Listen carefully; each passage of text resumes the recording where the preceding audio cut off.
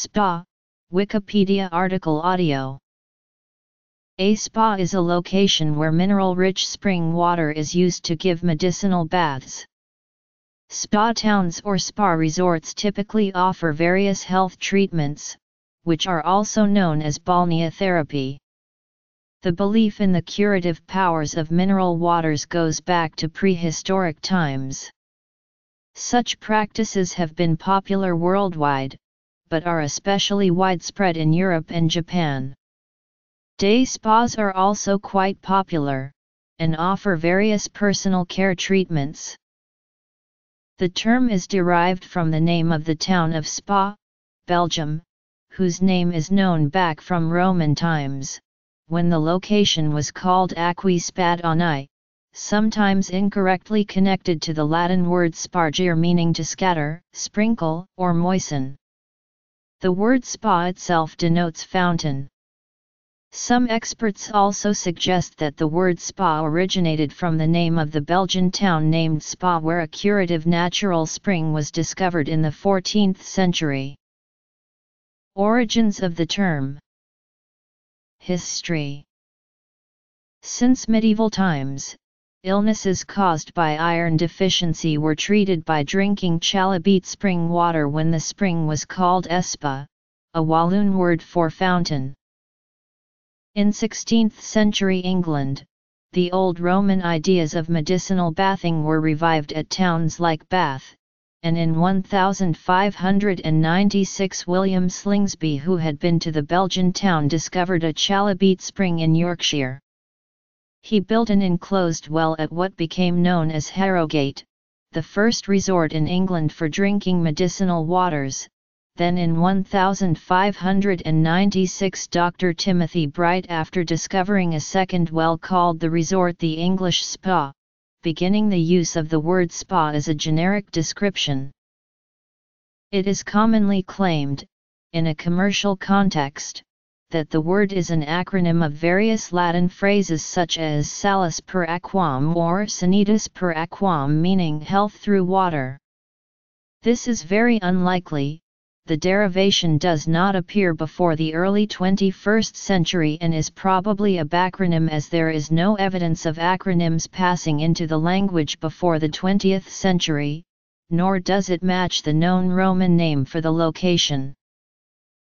Spa therapies have existed since the classical times when taking bath with water was considered as a popular means to treat illnesses.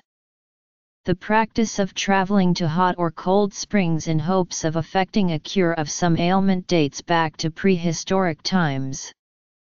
Archaeological investigations near hot springs in France and Czech Republic revealed Bronze Age weapons and offerings. In Great Britain, ancient legend credited early Celtic kings with the discovery of the hot springs in Bath, England. Many people around the world believed that bathing in a particular spring, well, or river resulted in physical and spiritual purification. Forms of ritual purification existed among the Native Americans, Babylonians, Egyptians, Greeks, and Romans. Today, ritual purification through water can be found in the religious ceremonies of Jews, Muslims, Christians, Buddhists, and Hindus. These ceremonies reflect the ancient belief in the healing and purifying properties of water. Complex bathing rituals were also practiced in ancient Egypt, in prehistoric cities of the Indus Valley, and in Aegean civilizations. Most often these ancient people did little building construction around the water, and what they did construct was very temporary in nature. Bathing in Greek and Roman times Some of the earliest descriptions of Western bathing practices came from Greece. The Greeks began bathing regimens that formed the foundation for modern spa procedures. These Aegean people utilized small bathtubs, wash basins, and foot baths for personal cleanliness. The earliest such findings are the baths in the palace complex at Knossos, Crete, and the luxurious alabaster bathtubs excavated in Akrotiri, Santorini, both date from the mid-2nd millennium BC. They established public baths and showers within their gymnasium complexes for relaxation and personal hygiene. Greek mythology specified that certain natural springs or tidal pools were blessed by the gods to cure disease. Around these sacred pools, Greeks established bathing facilities for those desiring healing.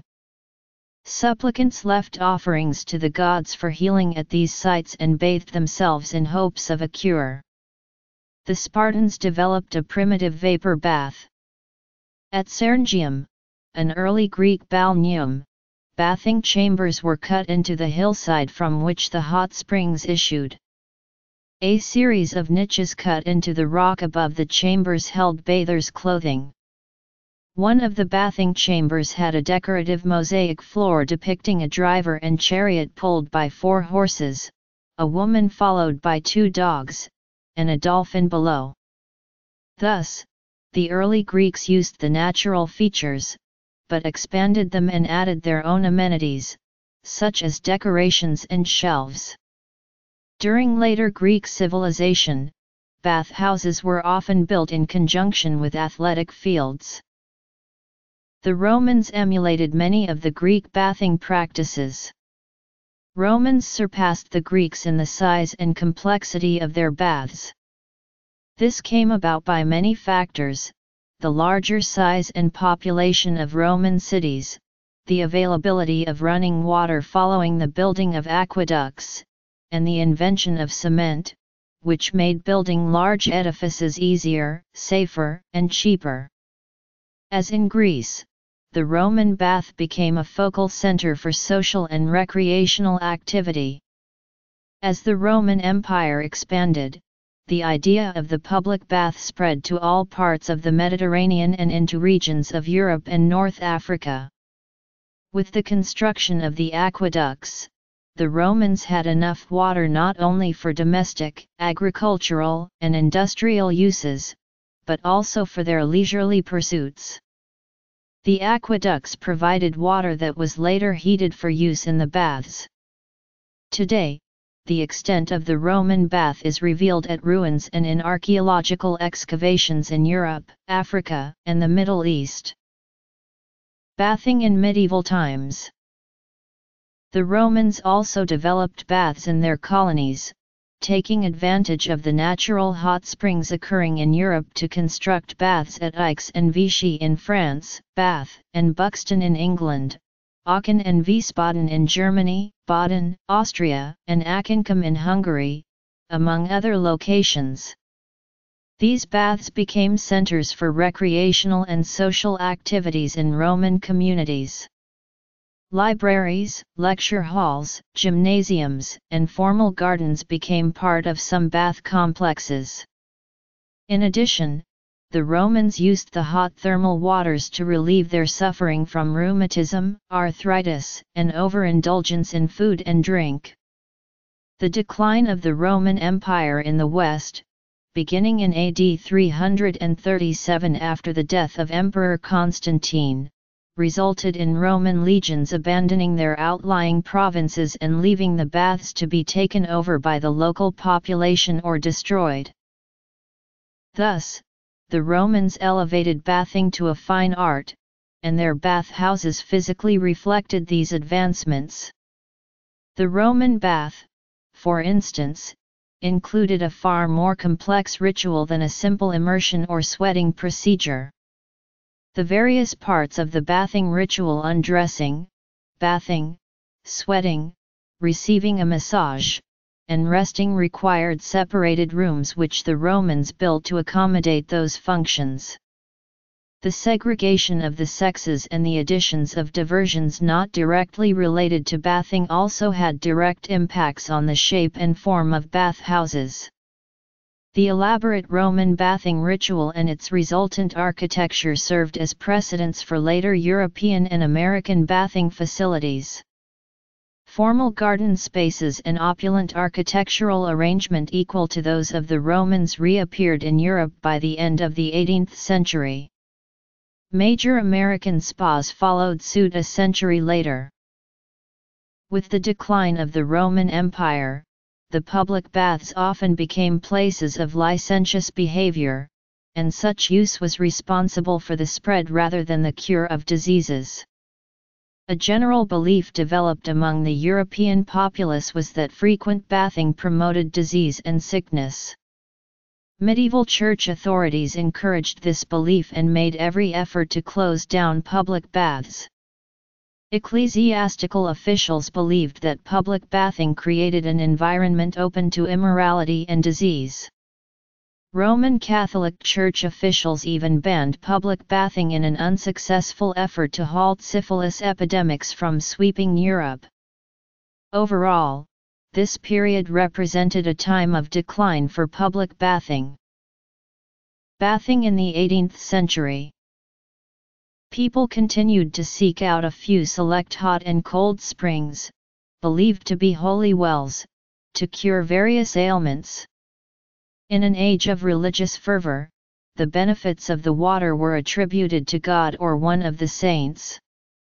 In 1326, Colin L. E. Lou, an iron master from Liege, Belgium, discovered the Chalybeate Springs of Spa, Belgium. Around these springs, a famous health resort eventually grew and the term spa came to refer to any health resort located near natural springs. During this period, individual springs became associated with the specific ailment that they could allegedly benefit. Bathing in the 19th and 20th centuries Bathing procedures during this period varied greatly. By the 16th century, physicians at Karlsbad, Bohemia, prescribed that the mineral water be taken internally as well as externally. Patients periodically bathed in warm water for up to 10 or 11 hours while drinking glasses of mineral water. The first bath session occurred in the morning, the second in the afternoon. This treatment lasted several days until skin pustules formed and broke resulting in the draining of poisons considered to be the source of the disease. Then followed another series of shorter, hotter baths to wash the infection away and close the eruptions. In colonial America In the English coastal town of Scarborough in 1626, a Mrs. Elizabeth Farrow discovered a stream of acidic water running from one of the cliffs to the south of the town. This was deemed to have beneficial health properties and gave birth to Scarborough Spa. Dr. Wittie's book about the spa waters published in 1660 attracted a flood of visitors to the town. Sea bathing was added to the cure, and Scarborough became Britain's first seaside resort. The first rolling bathing machines for bathers are recorded on the sands in 1735.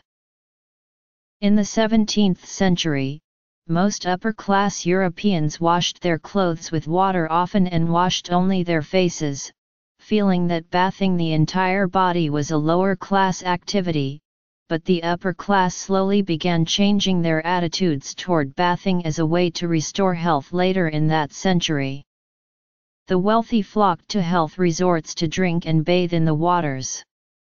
In 1702, Anne, Queen of Great Britain, travelled to Bath, the former Roman development, to bathe. A short time later, Richard Nash came to Bath. By the force of his personality, Nash became the arbiter of good taste and manners in England. He along with financier Ralph Allen and architect John Wood transformed Bath from a country spa into the social capital of England. Bath set the tone for other spas in Europe to follow. Ostensibly, the wealthy and famous arrived there on a seasonal basis to bathe in and drink the water, however, they also came to display their opulence. Social activities at Bath included dances, concerts, playing cards, lectures, and promenading down the street. Bathing in 19th and 20th century America A typical day at Bath might be an early morning communal bath followed by a private breakfast party. Afterwards, one either drank water at the pump room or attended a fashion show. Physicians encouraged health resort patrons to bathe in and drink the waters with equal vigor. The next several hours of the day could be spent in shopping, visiting the lending library, attending concerts, or stopping at one of the coffee houses. At 4 p.m., the rich and famous dressed up in their finery and promenade down the streets.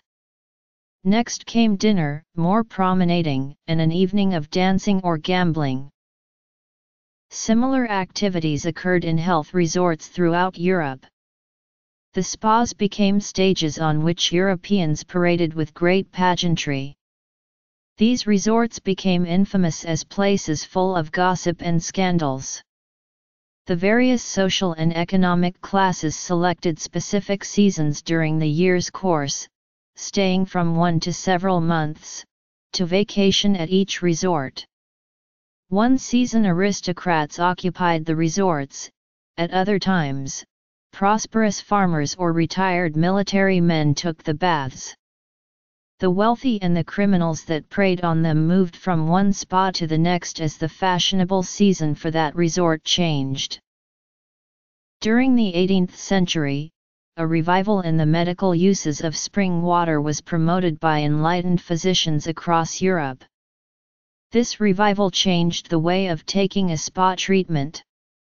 For example, in Carlsbad the accepted method of drinking the mineral water required sending large barrels to individual boarding houses where the patients drank physician-prescribed dosages in the solitude of their rooms. Dr. David Becher in 1777 recommended that the patients come to the fountainhead for the water and that each patient should first do some prescribed exercises. This innovation increased the medicinal benefits obtained and gradually physical activity became part of the European bathing regimen. In 1797, in England, Dr. James Currie published The Effects of Water, Cold and Warm, as a remedy in fever and other diseases. As shown by M. D. Eddy, this book, along with numerous local pamphlets on composition of spa water, stimulated additional interest in water cures and advocated the external and internal use of water as part of the curing process. In the 19th century, bathing became a more accepted practice as physicians realized some of the benefits that cleanliness could provide. A cholera epidemic in Liverpool, England in 1842 resulted in a sanitation renaissance, facilitated by the overlapping hydropathy and sanitation movements, and the implementation of a series of statutes known collectively as the Baths and Wash Houses Acts 1846-1896. The result was increased facilities for bathing and washed clothes, and more people participating in these activities. Also in 1842, a house in Cincinnati, Ohio, received the first indoor bathtub in the United States. Bathing, however, was still not a universal custom. Only one year later in 1843 bathing between November 1 and March 15 was outlawed in Philadelphia, Pennsylvania, as a health measure, and in 1845 bathing was banned in Boston, Massachusetts, unless under the direct orders of a physician. The situation improved, however, and by 1867 in Philadelphia most houses of the well-to-do had tubs and indoor plumbing. In England, hot showers were installed in barracks and schools by the 1880s. The taboos against bathing disappeared with advancements in medical science, the worldwide medical community was even promoting the benefits of bathing. In addition, the Victorian taste for the exotic lent itself perfectly to seeking out the curative powers of thermal water. treatments. In most instances, the formal architectural development of European spas took place in the 18th and 19th centuries. The architecture of Bath, England, developed along Georgian and neoclassical lines, generally following Palladian structures. The most important architectural form that emerged was the crescent a semi-elliptical street plan used in many areas of England. The spa architecture of Carlsbad, Marienbad, Franzensbad, and Baden-Baden was primarily neoclassical, but the literature seems to indicate that large bathhouses were not constructed until well into the 19th century. The emphasis on drinking the waters rather than bathing in them led to the development of separate structures known as Trinkhallen where those taking the cure spent hours drinking water from the springs. Recent trends By the mid-19th century, the situation had changed dramatically. Visitors to the European spas began to stress bathing in addition to drinking the waters. Besides fountains, pavilions, and Trinkhallen, bathhouses on the scale of the Roman baths were revived. Photographs of a 19th century spa complex taken in the 1930s, detailing the earlier architecture, show a heavy use of mosaic floors, marble walls, classical statuary, arched openings, domed ceilings, segmental arches, triangular pediments, Corinthian columns, and all the other trappings of a neoclassical revival. The buildings were usually separated by function with the trinkhalle, the bathhouse, the inhalatorium, and the kurhaus or conversation house that was the center of social activity. Baden-Baden featured golf courses and tennis courts, superb roads to motor over, and drives along quaint lanes where wild deer are as common as cows to us, and almost as unafraid. Aromatherapy, bathing or soaking in any of the following, artificial waterfall, as cervical waterfall, feet bath, hot spring, onsen, thermi.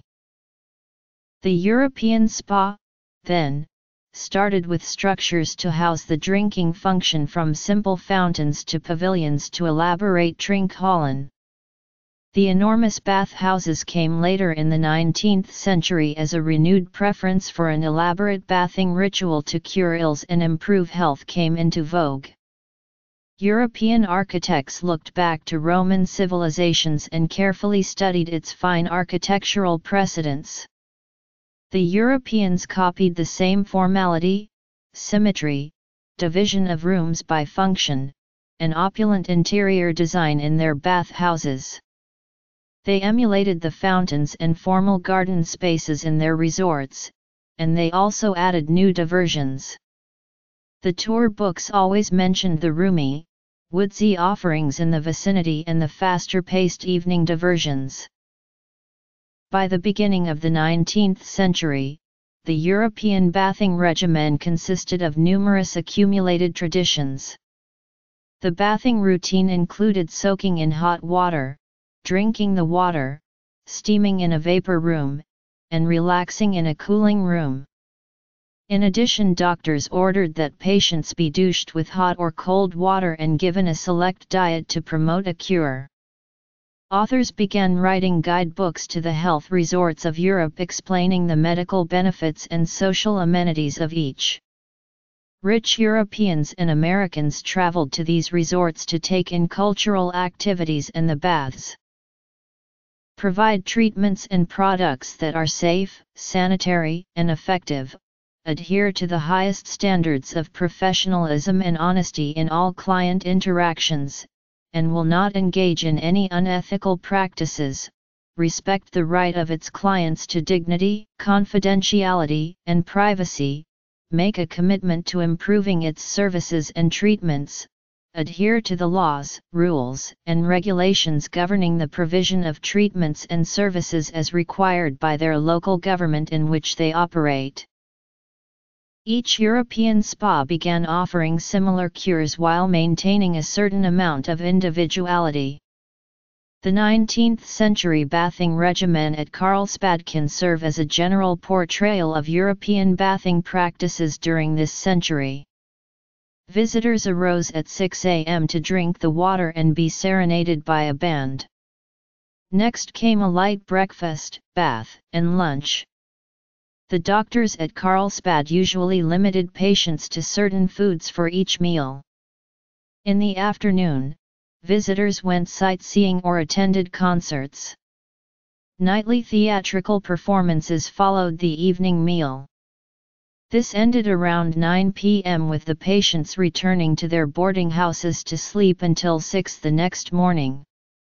This regimen continued for as long as a month and then the patients returned home until the next year. Other 19th century European spa regimens followed similar schedules. Types of treatments International Spa Association definitions Types Regulation of the industry At the beginning of the 20th century, European spas combined a strict diet and exercise regimen with a complex bathing procedure to achieve benefits for the patients. One example will suffice to illustrate the change in bathing procedures. Patients at Baden-Baden, which specialized in treating rheumatoid arthritis, were directed to see a doctor before taking the baths. Once this occurred, the bathers proceeded to the main bathhouse where they paid for their baths and stored their valuables before being assigned a booth for undressing. The bathhouse supplied bathers with towels, sheets, and slippers. The Baden-Baden bathing procedure began with a warm shower. The bathers next entered a room of circulating, 140 degrees Fahrenheit hot air for 20 minutes, spent another 10 minutes in a room with 150 degrees Fahrenheit temperature, partook of a 154 degrees Fahrenheit vapor bath, then showered and received a soap massage. After the massage, the bathers swam in a pool heated approximately to body temperature. After the swim, the bathers rested for 15 to 20 minutes in the warm Sprudel room pool. This shallow pool's bottom contained an 8-inch layer of sand through with naturally carbonated water bubbled up. This was followed by a series of gradually cooler showers and pools.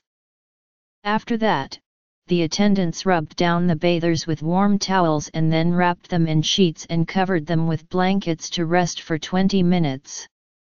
This ended the bathing portion of the treatment. The rest of the cure consisted of a prescribed diet, exercise, and water drinking program. The European spas provided various other diversions for guests after the bath, including gambling, horse racing, fishing, hunting, tennis, skating, dancing, golf, and horseback riding. Sightseeing and theatrical performances served as further incentives for people to go to the spa. Some European governments even recognized the medical benefits of spa therapy and paid a portion of the patient's expenses. A number of these spas catered to those suffering from obesity and overindulgence in addition to various other medical complaints. In recent years, elegance and style of earlier centuries may have diminished, but people still come to the natural hot springs for relaxation and health. In Germany, the tradition survives to the present day. Taking a cure at a spa is covered 100% by both public and private healthcare insurance, as mandated by federal legislation. Typically, a doctor prescribes a few weeks, no less than two weeks, but generally four to six weeks, stay at a mineral spring or other natural setting where a patient's condition will be treated with healing spring waters and natural therapies. In addition to the treatment and accommodations even all meals and drinks as well as entertainment is paid for by the insurance. Most Germans are eligible every two to six years, depending on the severity of the condition. Germans get paid their regular salary during this time away from their job which is not taken out of their vacation days. Some European colonists brought with them knowledge of the hot water therapy for medicinal purposes, and others learned the benefits of hot springs from the Native Americans. Europeans gradually obtained many of the hot and cold springs from the various Indian tribes. They then developed the spring to suit European tastes. By the 1760s, British colonists were traveling to hot and cold springs in Connecticut, Pennsylvania, New York, and Virginia in search of water cures. Among the more frequently visited of these springs were Bath, Yellow, and Bristol Springs in Pennsylvania, and Warm Springs, Hot Springs, and White Sulphur Springs in Virginia. In the last decade of the 1700s, New York spas were beginning to be frequented by intrepid travelers, most notably Ballston Spa. Nearby Saratoga Springs and Kinderhook were yet to be discovered. Colonial doctors gradually began to recommend hot springs for ailments. Dr. Benjamin Rush, American patriot and physician, praised the springs of Bristol, Pennsylvania, in 1773. Dr. Samuel Tenney in 1783 and Drive Valentine Seaman Indiana 1792 examined the water of Ballston Spa in New York and wrote of possible medicinal uses of the springs. Hotels were constructed to accommodate visitors to the various springs. Entrepreneurs operated establishments where the travelers could lodge, eat, and drink. Thus began the health resort industry in the United States. After the American Revolution, the spa industry continued to gain popularity. The first truly popular spa was Saratoga Springs, which, by 1815, had two large, four-story, Greek Revival hotels. It grew rapidly, and by 1821 it had at least 500 rooms for accommodation.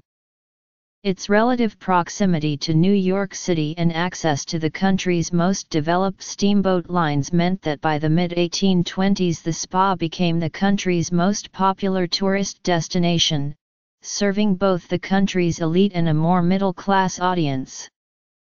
Although spa activity had been central to Saratoga in the 1810s, by the 1820s the resort had hotels with great ballrooms, opera houses, stores, and club houses.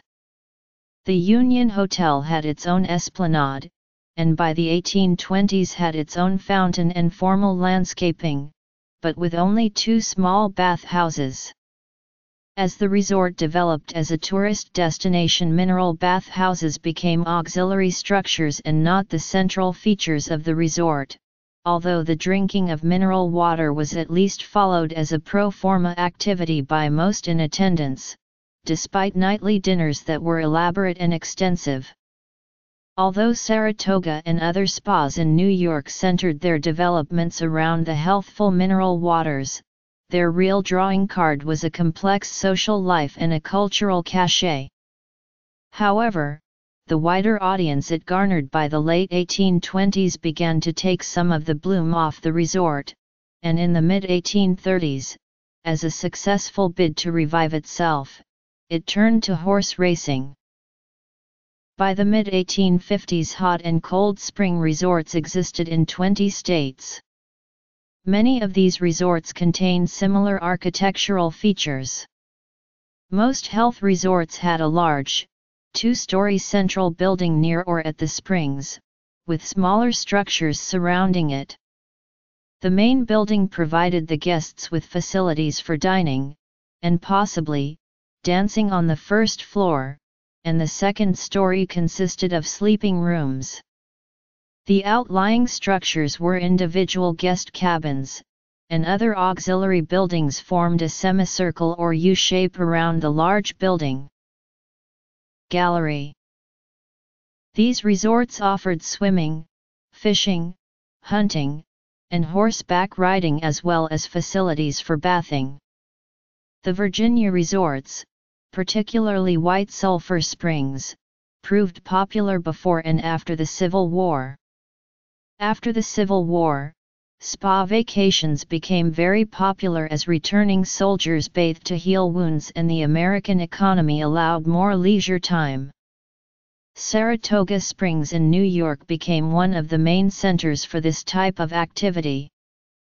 Bathing in and drinking the warm, carbonated spring water only served as a prelude to the more interesting social activities of gambling, promenading, horse racing, and dancing. During the last half of the 19th century, Western entrepreneurs developed natural hot and cold springs into resorts from the Mississippi River to the west coast. Many of these spas offered individual tub baths, vapor baths, douche sprays, needle showers, and pool bathing to their guests. The various railroads that spanned the country promoted these resorts to encourage train travel. Hot Springs, Arkansas, became a major resort for people from the large metropolitan areas of St. Louis and Chicago. The popularity of the spas continued into the 20th century. Some medical critics, however, charged that the thermal waters in such renowned resorts as Hot Springs, Virginia, and Saratoga Springs, New York, were no more beneficial to health than ordinary heated water. The various spa owners countered these arguments by developing better hydrotherapy for their patients. At the Saratoga Spa, treatments for heart and circulatory disorders, rheumatic conditions, nervous disorders, metabolic diseases, and skin diseases were developed. In 1910, the New York state government began purchasing the principal springs to protect them from exploitation.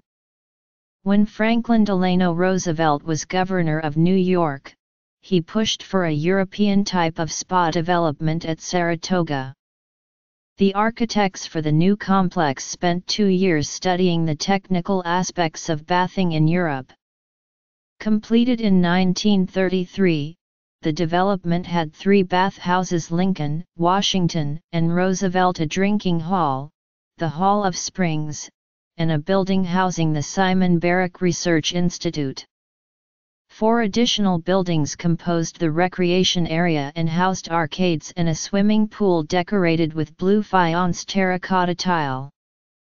Saratoga Spa State Park's neoclassical buildings were laid out in a grand manner, with formal perpendicular axes, solid brick construction, and stone and concrete Roman revival detailing. The spa was surrounded by a 1,200-acre natural park that had 18 miles of bridle paths, with measured walks at scientifically calculated gradients through its groves and vales, with spouting springs adding unexpected touches to its vistas, with the tumbling waters of Geyser Brook flowing beneath bridges of the fine roads. Full advantage has been taken of the natural beauty of the park, but no formal landscaping. Promotional literature again advertised the attractions directly outside the spa, shopping, horse races, and historic sites associated with Revolutionary War history. New York Governor Herbert Lehman opened the new facilities to the public in July 1935. Notes Bibliography other leading spas in the U.S. during this period were French Lick, Indiana, Hot Springs and White Sulphur Springs, West Virginia, Hot Springs, Arkansas, and Warm Springs, Georgia. French Lick specialized in treating obesity and constipation through a combination of bathing and drinking the water and exercising. Hot Springs, Virginia, specialized in digestive ailments and heart diseases, and White Sulphur Springs, Virginia, treated these ailments and skin diseases. Both resorts offered baths where the water would wash continuously over the patients as they lay in a shallow pool. Warm Springs, Georgia, gained a reputation for treating infantile paralysis by a procedure of baths and exercise. President Franklin D. Roosevelt, who earlier supported Saratoga, became a frequent visitor and promoter of this spa. A body treatment, spa treatment, or cosmetic treatment is non-medical procedure to help the health of the body. It is often performed at a resort, destination spa, day spa, beauty salon, or school. Typical treatments include In the modern world spa therapies are linked to various domains including beauty, pampering, indulgence, and health. Spa industry is thought to be growing at a significantly high rate, and most importantly it is observed to embrace wellness as its core business. By the late 1930s more than 2,000 hot or cold springs health resorts were operating in the United States. This number had diminished greatly by the 1950s and continued to decline in the following two decades. In the recent past, spas in the U.S. emphasized dietary, exercise, or recreational programs more than traditional bathing activities. Up until recently, the public bathing industry in the US remained stagnant. Nevertheless, in Europe, therapeutic baths have always been very popular, and remain so today. The same is true in Japan, where the traditional hot springs baths, known as onsen, always attracted plenty of visitors. But also in the US, with the increasing focus on health and wellness, such treatments are again becoming popular. Spa, places devoted to overall well-being through a variety of professional services that encourage the renewal of mind, body, and spirit. Balneotherapy treatments can have different purposes. In a spa setting, they can be used to treat conditions such as arthritis and backache, build up muscles after injury or illness or to stimulate the immune system, and they can be enjoyed as a relief from day-to-day stress. The International Spa and Body Wrap Association is an international association for spas and body wrap centers around the world. The main concern of the ISBWA is the regulation of the industry and the welfare of the consumers. Member organizations are to adhere to the ISBWA Code of Ethics, which requires them to do the following. Spa Center in Varshets, Bulgaria. Mineral water swimming pools in Blagoevgrad district, Bulgaria. Balneo area in Alange. The Casino Garden in Spa, Belgium. Medicinal water bath in Mako. Bathing in Bogor, West Java. Japanese onsen, in Hokkaido. Bathers, Louis Michel Eilshemius, c. 1920.